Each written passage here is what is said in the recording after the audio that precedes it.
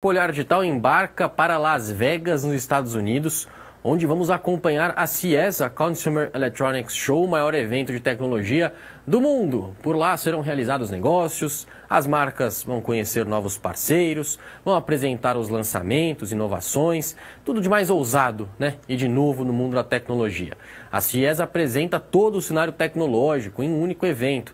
Vai ter inteligência artificial, computação em nuvem, robótica, aviação, setor de automóveis também presente.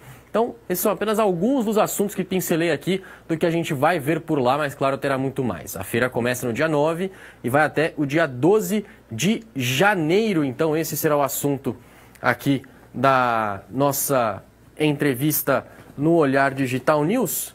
Então, resumidamente, é, queria que você explicasse a importância da CIES no calendário tech né, das feiras, por que ela é a maior feira do mundo. Olha, CES é uma feira que já tem décadas e ela é a primeira grande feira do ano, o primeiro grande evento. Então, é, dá para dizer que o calendário de tecnologia do mundo começa agora. Então, muitas marcas passam aí o ano inteiro preparando novidades para revelar na CES, né? E como você muito bem falou, nas mais variadas categorias, né? Então, por algum tempo era uma feira que as pessoas esperavam eletrônicos, gadgets, né? Então, quer dizer, é, TVs, é, entretenimento, é, utilidades para as casas e tudo mais. E agora ela abarca todas as categorias. Para dar dimensão, espera-se que nesse ano tenham 130 mil pessoas. E lembrando que é um evento fechado. Então imagina se o evento fosse aberto. Não tem ingresso, só pode participar quem é do setor de mídia, enfim, quem está fazendo a cobertura, ou os fabricantes. Então, é o maior palco de tecnologia do mundo, sem sombra de dúvida. É, então, todos os lançamentos acontecem em paralelo, é muita coisa ao mesmo tempo. Sua avaliação, a inteligência artificial deve ser um destaque dessa, desse evento, mais uma vez? Eu não tenho dúvida nenhuma, só que a minha expectativa para esse ano é o seguinte: qual que é a grande diferença? Né? Porque nós estamos desde o final de 2022, basicamente, falando sobre IA. Né? Então, é, o grande marco aí foi em novembro de 2022, com a chegada do chat GPT para o público, né? É, 2023 nós falamos de inteligência artificial o tempo inteiro, só que a minha expectativa é que agora nós começamos, é, nós devemos ter aplicações práticas. Então, quer dizer, o ano passado estava todo mundo falando, olha, estamos investindo em IA, é, as pessoas podem esperar grandes coisas da inteligência artificial. Agora a pergunta que fica é, bom, mas a IA vai fazer o que nesse produto?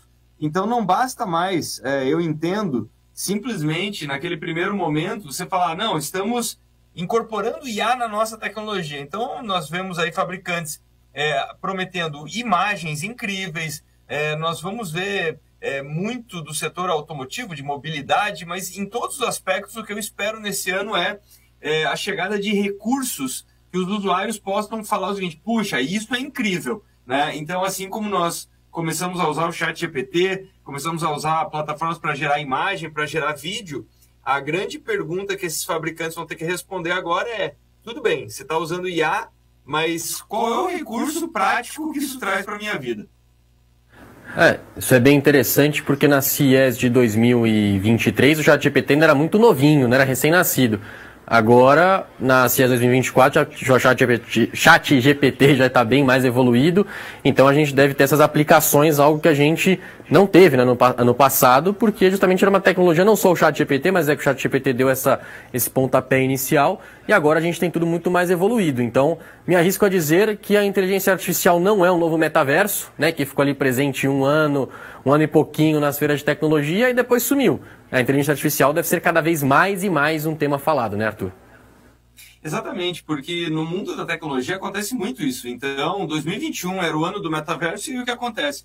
É praticamente todas as marcas elas falam: estamos atentas a isso, estamos investindo no metaverso. Por quê? Porque elas não podem reconhecer que elas estão ficando para trás. Mas elas têm uma dificuldade muito grande em sustentar isso por algum tempo. É, então, o que acontece? Eu diria que a inteligência artificial, quando ela apareceu em 22, é, muitas empresas ficaram tranquilas, porque elas não estavam conseguindo engatilhar, não estavam conseguindo mostrar coisas práticas no metaverso. Mas agora não é mais aquela novidade, como você falou do chat GPT novinho, nós já temos um amadurecimento, e aí o que começa a acontecer?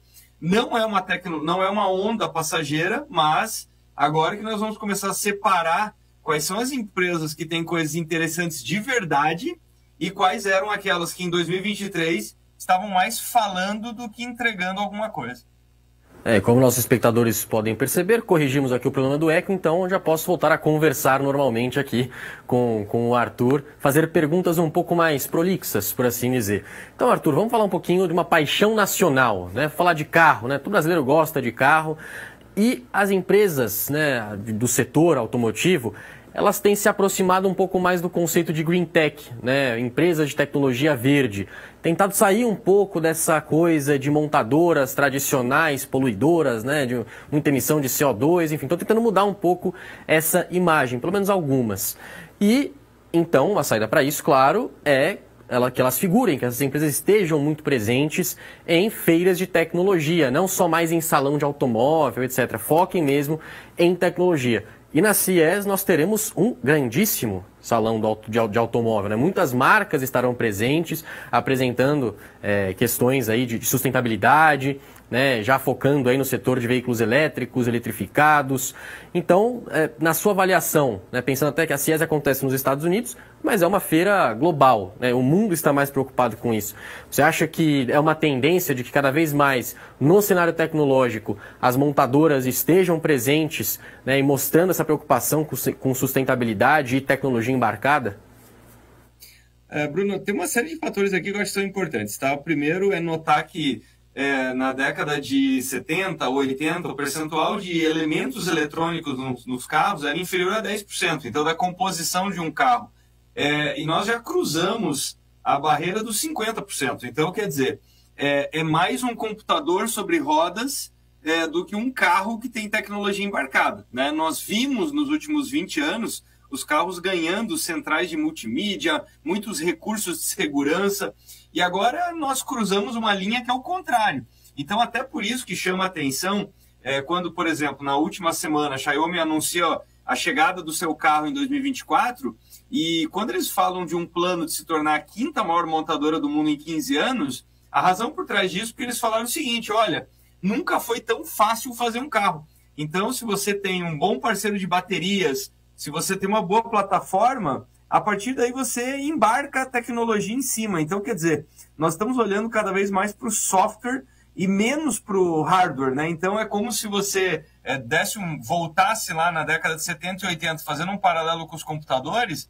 A partir do momento que ficou menos artesanal montar um computador, como era o começo da Apple e tantos outros, e as, as empresas começaram a poder comprar é, placa-mãe, placa de vídeo, processadores, memória, ficou muito mais fácil. E aí que o mercado explodiu. Então, no mercado dos carros eletrificados, nós estamos começando a viver esse momento. Então, nós estamos vendo mais players, mais montadoras, não só as montadoras centenárias.